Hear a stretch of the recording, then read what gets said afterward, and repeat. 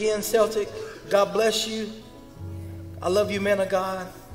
I really do. You and your wife, your lovely wife, Jocelyn, y'all so faithful.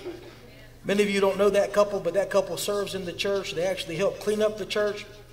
I came in here yesterday, and the man of God had a micro, had a had a, uh, a vacuum in his hand, and I know he probably had a plunger in his hand and a mop in his hand, and as he was cleaning the church, and he was just doing it unto the Lord, not unto man, and just honoring the Lord. And, and just what I've learned is that I never want to give people a microphone that ain't willing to pick up a toilet plunger. Amen. God is attracted to humility. Hallelujah.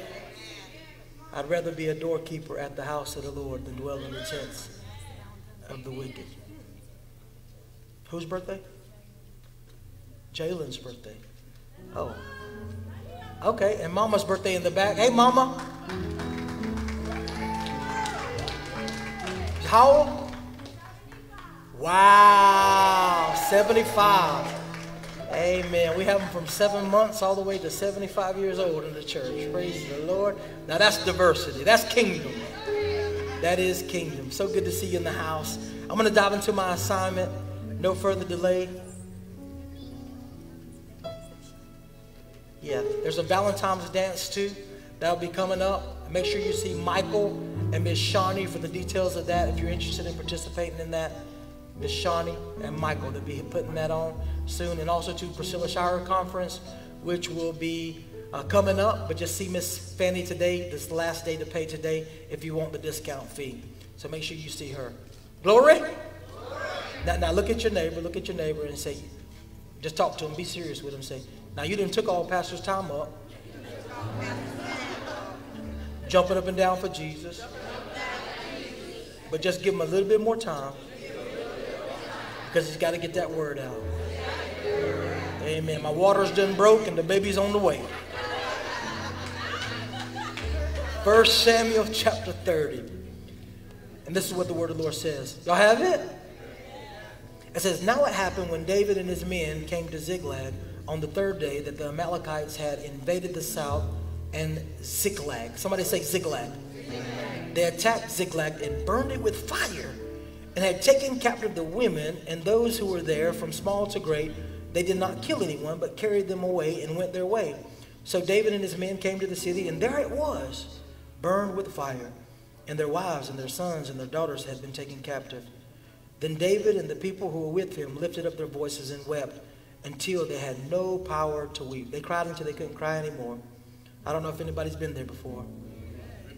And David's two wives, Ahinoam, Jezreelitess, and Abigail, the widow of Nabal, the Carmelite, had been taken captive. Now, this is Old Testament now, so no men don't get no ideas about that.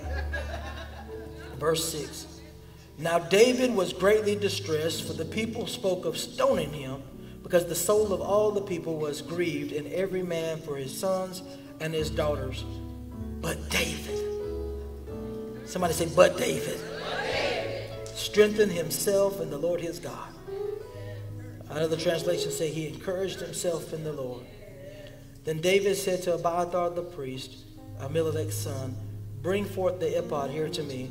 And Abiathar brought the ephod to David. So when David inquired of the Lord, saying, Shall I pursue this troop? Shall I overtake them?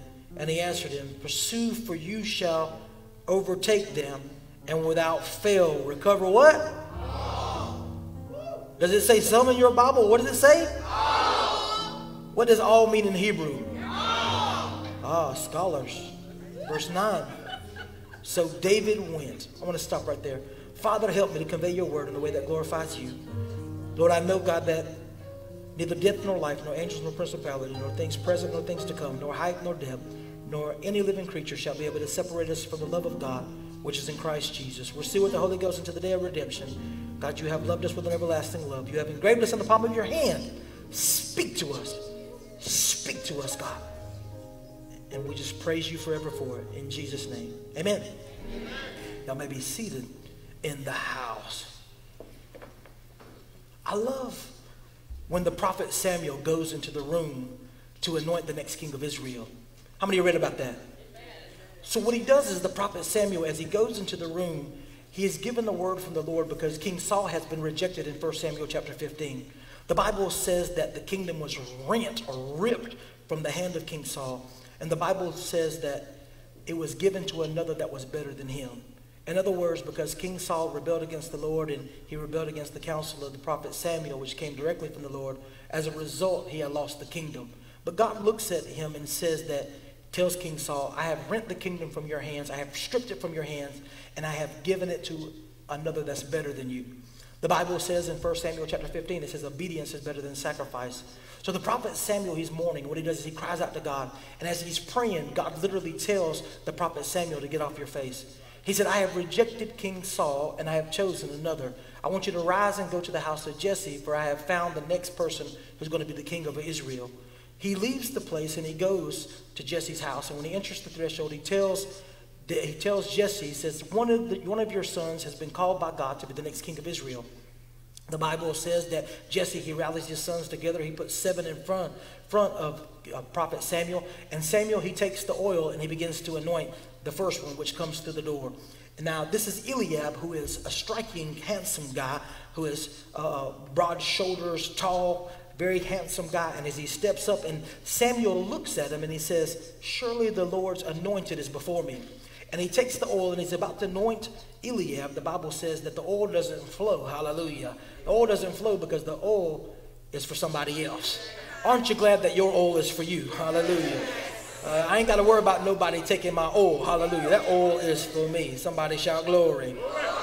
Then Shammah comes in, and the Bible says that God has God examined every one of those people, and he said that I've examined those and I've rejected those because their heart is not right before me. The Bible says that man looks at the outward appearance, but God looks at the heart. I'm so glad that God looks at the heart. But the Bible says that as he goes to anoint, he can't anoint any of them because the oil is for none of the seven. So he asked Jesse, he said, Do you have another son? Because I know I heard the voice of the Lord telling me that the son that the next king is going to come out of your household.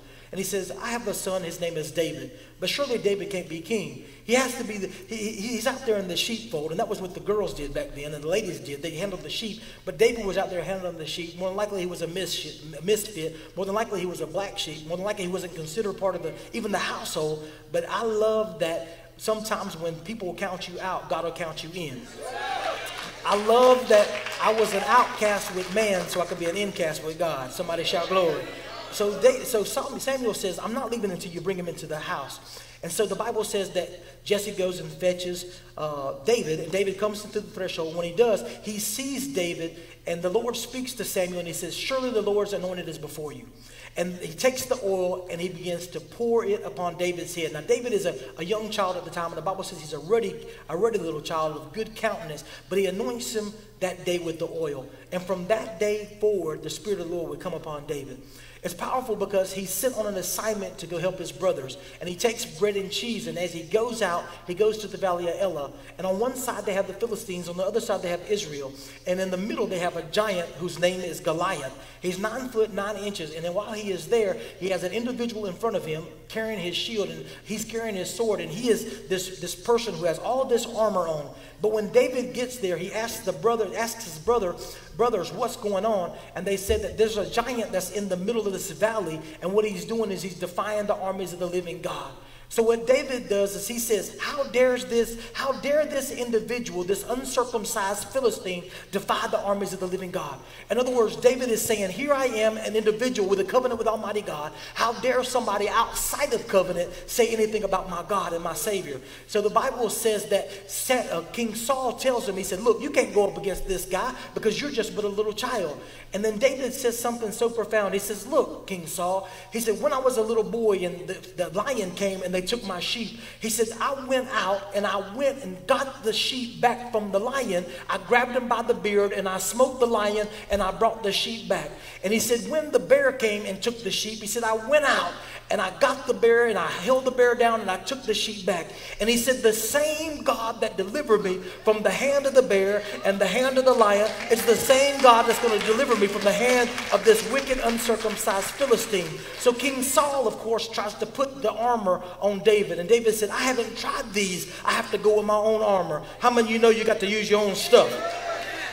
I love TD Jakes, but I've got to use my own stuff.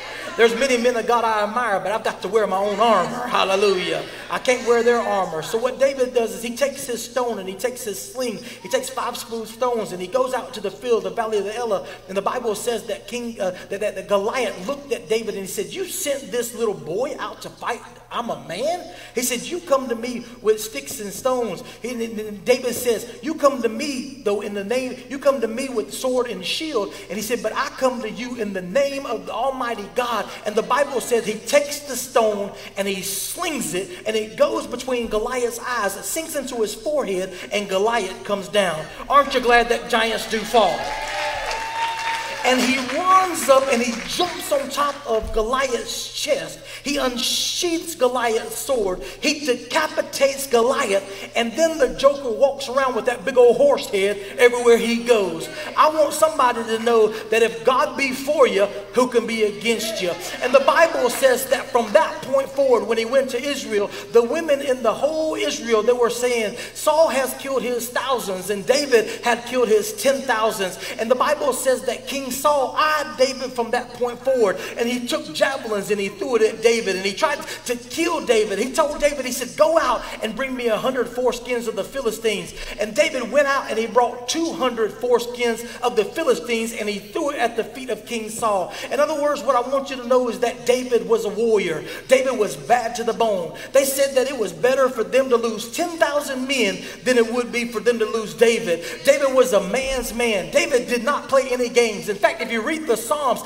he prayed imprecatory prayers, which means basically he was he was he was hardcore in his prayers. In fact, in one of his prayers, he said, "I would love to bathe my feet in the blood of the wicked." David looked at his hands and said, "You teach my hands to war." He was somebody who was bad. You wouldn't want to mess with David. In fact, when Abigail and Nabal were there, he said, "I'm going back and killing Nabal and I'm killing everything. I'm gonna give you King James version. I'm not I'm not cussing, but this is what he said. He said, "I'm gonna kill everything that pisses against the wall." That's what he said. That's the Bible. Bible says that. In other words, he was a bad man. He, he didn't play no games. You didn't want to. I'm, I'm, quoting the Bible now. Go back and look at King James Version. That's what it says. I'm, I'm, cleaning it up. I'm telling you, I ain't cussing. That's, that's right there in the Bible. That's what he said, though. He was a bad man. You didn't want to mess with David. David was bad to the bone. He was let down through a window. But King Saul wanted to kill him. And everywhere he would go, he was hiding from King Saul. And he ended up in the cave, cave which was at Adullam, the place called Adullam. And while he was there, it was 450 men that had joined themselves to David. They were in debt. They were discouraged. They were discontented. But if you hang around a man of God long enough, something on him is going to get on you. And the Bible says that mighty men were raised up from these guys. So in chapter 29, they're 75 miles away from Ziklag. And so here these men are. They've been out doing the work of the Lord. They've been praying, they've been serving, they've been, they've been conquering the enemy 75 miles away, and they travel all this way. Now you have to think they didn't have Cadillacs back then, they didn't have the Greyhound bus, they didn't have uh, they didn't have American Airlines or none of that. So they were on feet, or they were on camels, or they were on horse. But 75 miles, they come back home. And listen, when they come back home, they come back to the place called Ziklag, and when they get there, they see, in the distance, they see a smoke, a, a cloud of smoke coming up from the village. When they get there, they're thinking in their heart that their wives are going to be running out of the running out the houses to greet them with open arms, and their kids are going to be running out the houses to say, Daddy is home. But when they get there, all they see is fire. All they see is devastation. All they see is destruction. All they see, all they have is heartache and pain and great losses. And they look around for their kids and they're nowhere to be found. And they look around for their wives and they're nowhere to be found. And they look around for their stuff and it's nowhere to be found. And the men, the Bible says, are in great distress. They're in mourning, they're in agony, and they begin to cry and they begin to weep. And the Bible says that they weep and they cry to the Lord until they cannot cry anymore. They're in a place where they believe that they've been defeated. They're in a place where they feel like they've lost everything. They're in a place where they're so low where they have to look up and to see bottom. They're in a place where there's agony and there's frustration and there's doubt and there's fear. Here they are in this place, and the Bible says that they begin to pick up stones and they begin to look at David. Now I want you to know, church, that Ziklag is a place that anybody who desires to be great has to go. Ziklag is the place that God will put in the path of destiny, in the path of greatness. See, because listen, church, crowns don't make kings. It is Ziklag that makes kings. In other words, what I want you to understand, it is impossible for you to stand in Zion unless you have sat in Ziklag. It is impossible. See, because the oil itself would initiate David, but it would zig, it would be Ziklag that would graduate David. The Bible clearly says that while they were in this place, they lifted up stones to stone David. And I love what David does. He doesn't defend himself. He doesn't go and get another entourage. He doesn't go and get an assembly of other people to follow him. But what he does is he encourages himself in the Lord. He encourages himself in the Lord. One thing, in order for you to be great, church, you have to understand that you have to learn to encourage yourself in the Lord. If you live long enough, you'll find out that your pastor can't always encourage you, that mama can't always encourage you, that your wife, married folk, can't always encourage you. Come on, somebody. Any married folk in here can testify that your husband can't always encourage you. And there comes a time in your walk and journey with the Lord that you have to learn to encourage yourself in the Lord. There comes a time where you can't depend upon service to service for you to get your encouragement. If you depend on encouragement from Sunday to Wednesday and then from Wednesday from Sunday, then what you are doing is you're living on a church high and you are not living on a full victory. You might have been an alcoholic, but now you're a churchaholic, and God wants you to know how to encourage yourself in Him because there's going to be a times in your life where things are going to hit you where folk can't lay hand on, hands on you and they get fixed. There are going to be things that come in your life where no matter what you do as far as asking other people, they're not going to be able to help you. You're going to have to get to the place in your walk in relationship with the Lord where you say, God, it's just me and you. I need you. I'm going to encourage myself in you. Come on, give God a praise in this place. See, David had learned to encourage himself before. This is why he said, he said, he says, be not disquieted, O my soul, O that which was in me. He says, hope thou in the Lord. Why are you downcast? He learned to minister to himself. I've learned before you can preach to others, you've got to learn to preach to yourself. I've learned before you can speak life over other folk, you've got to learn to speak life over yourself. There comes times in your life where you've got to grab your head and say, head, you ain't gonna do that no more. I prophesy. I prophesy over you right now. You have you are not given the spirit of fear, but a power and a love and a sound mind. I can't get no help up in here. I just wish somebody would learn to encourage themselves in the Lord. And so what he would do then, church, I believe he began to play back in the Rolodex of his mind all the things that God had done for him. So while everybody was looking at the smoke and everybody was looking at the loss and everybody was looking at the devastation, David had gotten to the place with the Lord where he realized that before he had a wife, he had God. That before he had kids, he had God. That before he had an army, he had God. That before he had stuff, he had God. And he began to remind himself about the God he had when he was on the backside of the of the on a sheepfold there messing with sheep. In other words, raising these sheep up. He remembered in his heart those days when he said, The Lord is my shepherd, I shall not want. He remembered in those days where he said, The Lord is my light and my salvation, whom shall I fear? He remembered in those days when my father, Jesse, and my mother forsake me, even the Lord shall take me up. He had something on the inside of him to draw from. Is there anybody in here that has something on the inside of them to draw from in the time of trouble? See, if you if you got to dig a well when trouble hits, you too late. You got to have a well on the inside of you. Because this, Jesus said, in this world you will have trouble, but be of good cheer. I have overcome the world. That's your time to praise the Lord in this place. So he began to replay in his mind. He began to replay when he was standing in the living room in front of his brothers, where Samuel anointed him with that oil. No wonder he said, Thou preparest the table before me in the presence of my enemies. Oh, I don't know who can get that. God will bless you in front of the people that hate you the most. Ah! Oh, I wish, oh my goodness, I wish somebody would get that. He'll bless you. He'll bless you right in front of them. So he remembered the oil on his head. He remembered standing in that living room. He remembered when, he, when that giant fell. He remembered he had snapshots in the spirit where he was able to stand on Goliath's chest. He had snapshots in the spirit where he walked around with Goliath's head. He remembers in his spirit that he was able to get 200 foreskins of the Philistines. He remembered in the spirit, not by might nor by power, but by the spirit. He remembered in the spirit that when Saul would take javelins and throw it at him, he was like the matrix, dodging every single javelin. He understood who God was, and he understood that the same God that delivered him from the lion and from the bear was going to be the same God that delivered him from Ziklag.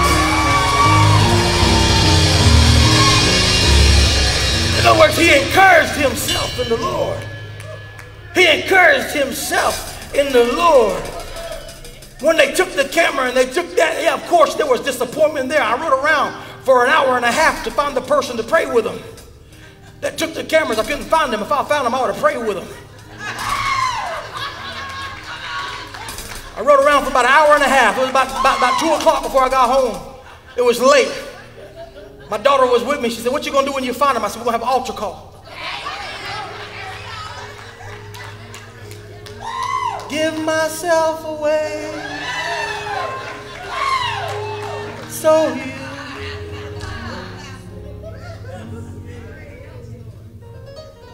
But I began to think in my mind, how when we started this church, we didn't have but a little bit of tools. And, and, and one day we came to work, we was, we was busting knuckles and we were bleeding and all kind of stuff. And, and, and we, we came back to this church and all of our stuff had been stolen. All of our tools had been stolen. Everything had been gone. And, and I remember the men being discouraged. And, and while they were being discouraged, I, I told them, I said, hope thou in God. And we begin to pray and we begin to praise the Lord. And listen, I kid you not, that same week, a man pulled up in a red truck and he got out the truck and began to unload his truck with tools. And he looked me in the eyes. I never saw that man before. He looked me in the eyes and he said, The devil can't stop God's work. He unloaded that truck and he left. I never saw him since. But the same God that provided then is the same God that's going to provide now.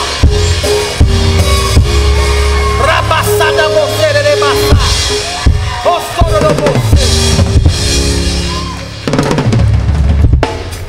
so he encouraged himself. I got a lot more. I got a lot more. I got a lot more.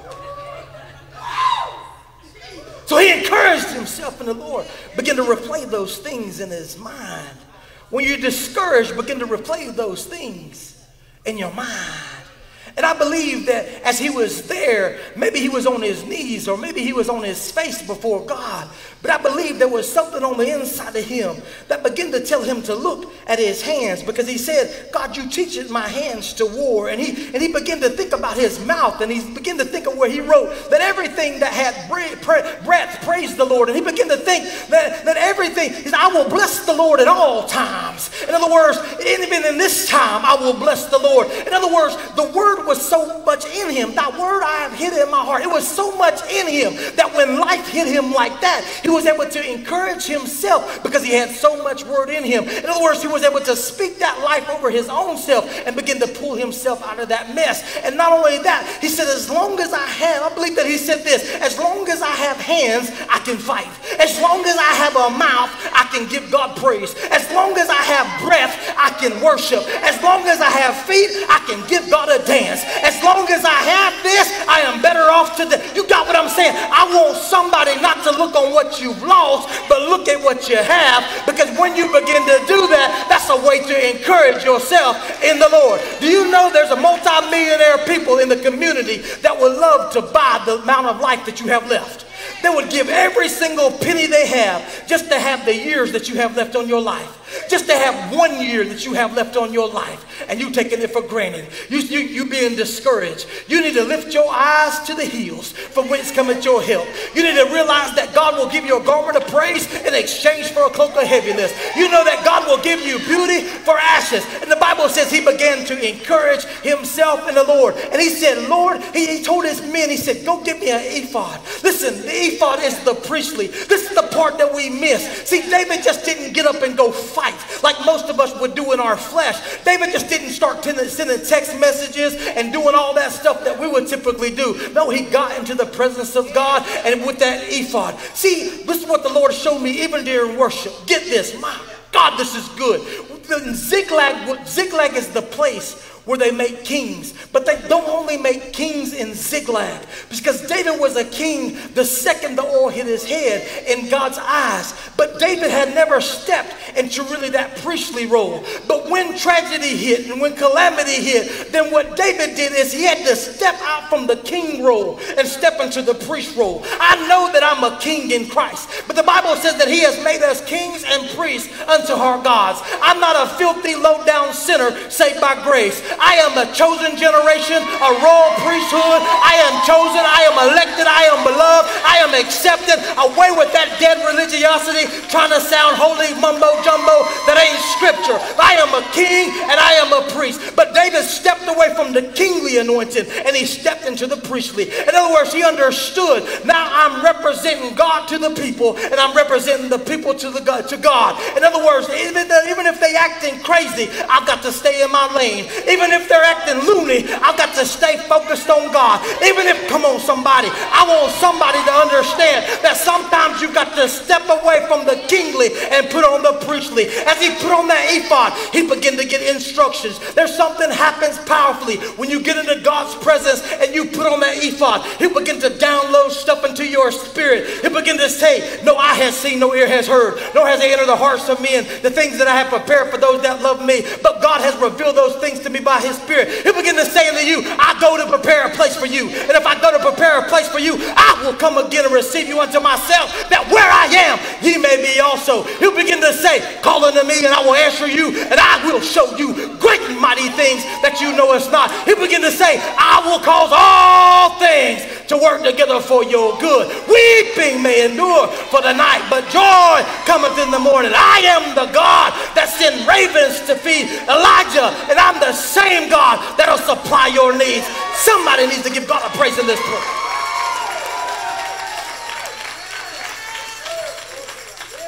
And he stepped out in faith after he heard from heaven.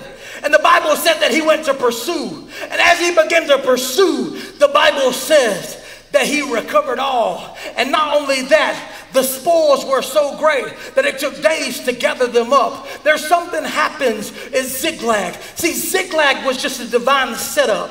Ziklag was a place of testimony. See, they just took our cameras. That ain't going to hurt this church at all. I'm telling you, God is faithful. I'm telling you, if I come and pull up in the parking lot and the church is burnt down, then what I'm going to do is grab a brick and another brick because the devil cannot stop God's work. I wish somebody would give a God a praise in this place. Yes, Lord. Yes, Lord. Yes, Lord. But some of you, you got to learn to encourage yourself in the Lord. You waiting on mama, you waiting on daddy, you waiting on your wife, you waiting on your husband. And as long as you waiting on other people to fix you, you'll always stay broken.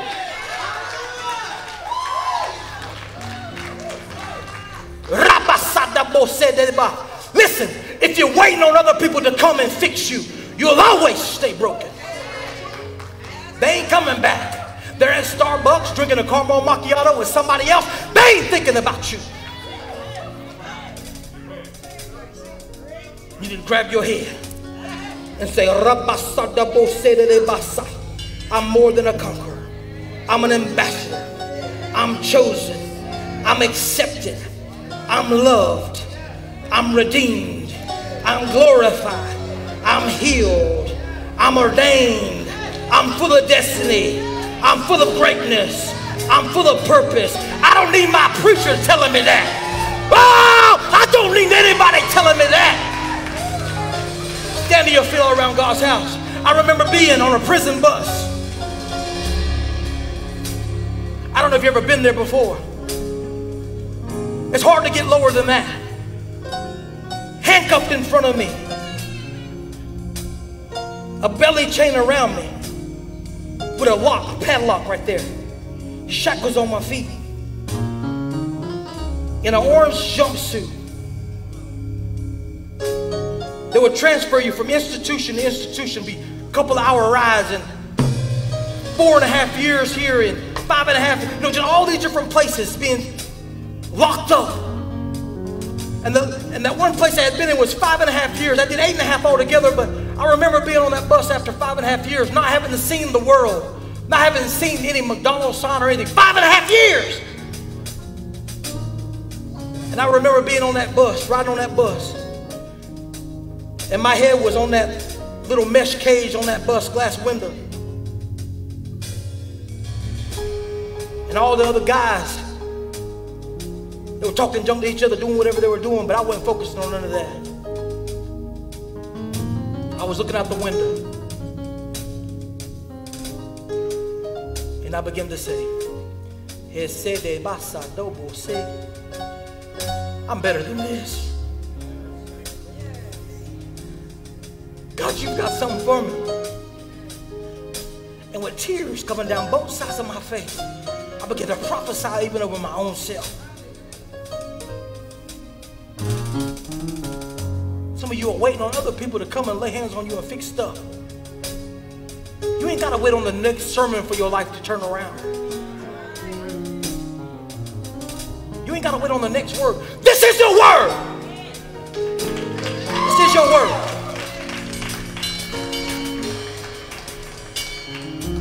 This altar calls for discouraged people. I don't know who you are, but will you come? Will you come? Discouraged in your job, discouraged in your finances, discouraged in your ministry, discouraged in your walk, discouraged. Will you come? One of the greatest tools of the enemy is this tool of discouragement. I should be further along than what I am.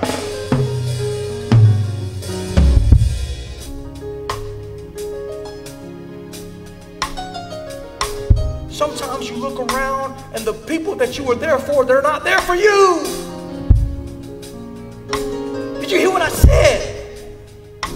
Sometimes in life, you look around and the people that you are that you are there for, the people that you would fly across the world to see, won't even walk across the road to see you.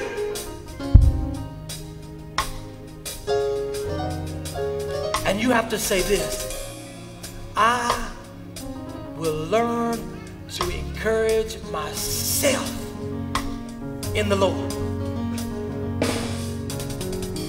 I'm smiling today because, because before anybody can call me and tell me, Pastor, we praying for you, praying for the church, I got into a place with God. And God said, You my boy. I got you. Come on, that's a good place to praise. But if there's anybody else, just, just anybody else discouraged, maybe discouraged in your marriage, maybe discouraged in your finances, maybe discouraged about a situation. You've been in a situation for, you're in Ziklag. I told you that crowns, that the kings are not made in, in, Jerusalem. Kings are made as Ziklag. God makes kings. You know what he makes kings? God makes kings in pits. God makes kings in graves. God makes kings in virgin wombs. God, God makes kings in the most obscure places. God uses nails. He doesn't go to crowns, he uses nails. He uses crosses. Has anybody read that in the Bible?